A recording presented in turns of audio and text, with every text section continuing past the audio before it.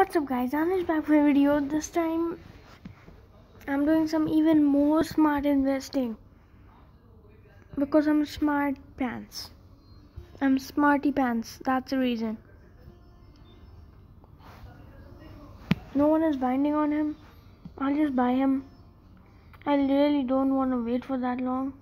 So I'll just buy him.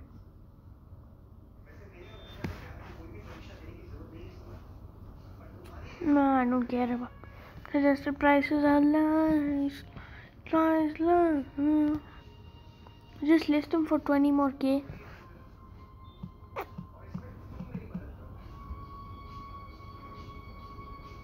Actually,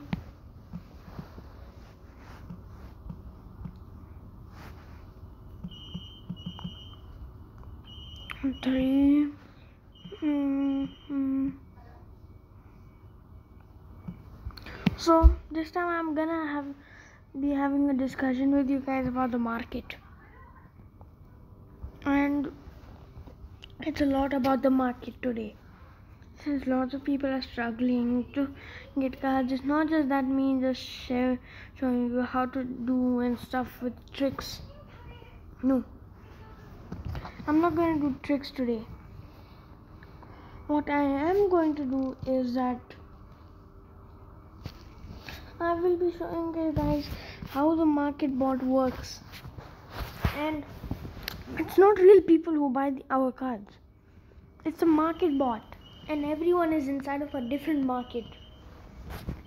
Sometimes for some people the prices are extremely high. Some people are not as lucky and their prices are extremely low for most cards. Like this is because of the market bot person who's in charge of buying all your cards. Like everyone is in a different market. There's a time period where the cards just go to their peak of expensiveness and you have to figure that out on your own since you're on a different market from everyone else.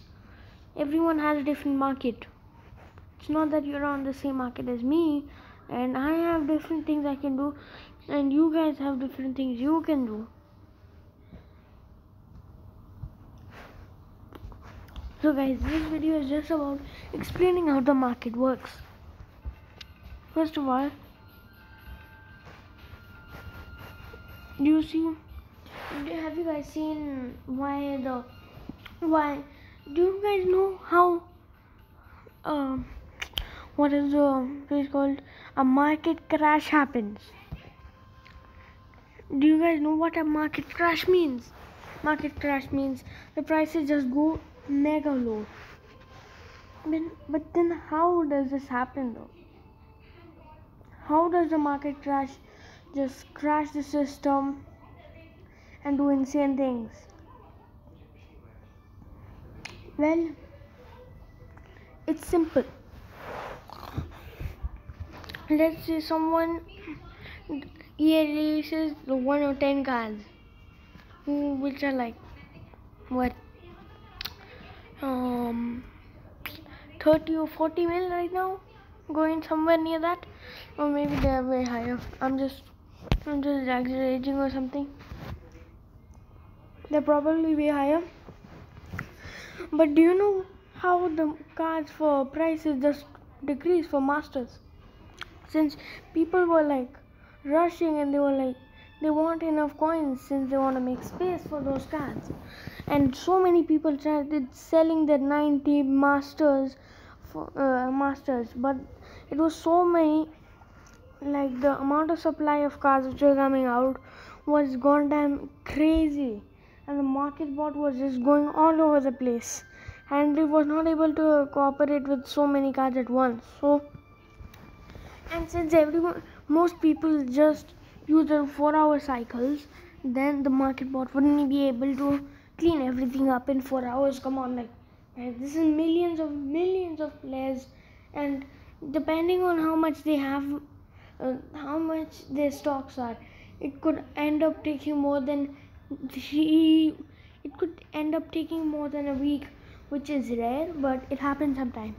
You just can't keep up with it. So then the four hour cycle ends then they start lower the pressure a little bit and then still no responses. They lower it lower it lower it lower it until the point where my 90 masters are cheaper than 80 elites. Yeah like this. This is how market crashes happen. But then you might be wondering then why is why are elites so expensive? Shouldn't they be a part of the market crash yeah they kind of do but um, let's say you have a full bag of elites okay? Would you let's say you have a full bag of masters. Would you rather would you would only do the masters right? Yeah well right yeah everyone would do that. That is the reason. That is the reason. There's not to be much supply for the for the 80 elites and people are not to go that crazy for them. So the market bot doesn't even have the have the easy job with the elites. Since it wants to work with the elites first then it's just gonna do all its do its thing while the masters are not not even one master selling. Yeah that's what happens. Basically it's kind of insane to think this is the real reason we can't collect coins that easily. It's kind of insane to think about it though. Not gonna lie. Look at this. That is how 80 elites are more expensive than 90 masters even 100 overall players. Let's see if any whales have gotten the 98 keeper I bet you some whales already have him or something. Probably some some whales are. Oh, Nubel is there. He has much better stats than my goalkeeper, who's like the noobiest goalkeeper of all time.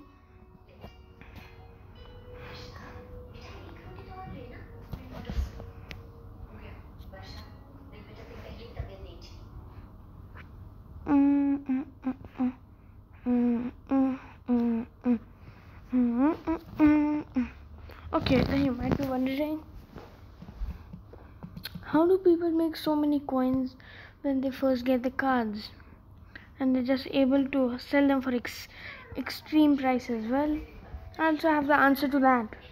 The answer to that is really simple. It's just that they're really early awake, like they come around the reset time. So if they're if they're around the reset time, they can easily just get the card they want and just get away with it and sell them for expensive prices since most people are sleeping around that time. And that is how they make coins and coins and coins. Like this also happened for the 104s i sold a 104 for 30 mil. Yeah that might sound kind of insane right now but I was not that uh, that early awake, but I was awake a little bit, but not that early up. So I was able to sell them for 30 mil, and then they dropped a ton after that. I think they're at 15 mil right now, or 20 or something. Yeah, some people were lucky enough to get, get them, um, sell them when they were like 60 mil. 60 mil was rarely even thing back then. So you would you would really have to grind for them if you wanted to get them below 50 mil. So that is all for the video. Bye